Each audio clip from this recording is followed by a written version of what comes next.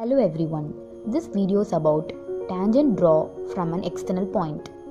The objective of this activity is to show a tangent can be drawn from the external point of the circle by the method of paper folding, cutting and pasting. Some materials required for this activity are two colored A4 sheets, a pair of scissors, geometry box and glue. Take a color take one of the colored paper and draw the circle at any radius. Now paste it on a, another color sheet with the help of glue. Let O be the center of the circle and draw a radius or mark a point, say A. With that, extend the point to the outside of the circle or the external part, say B.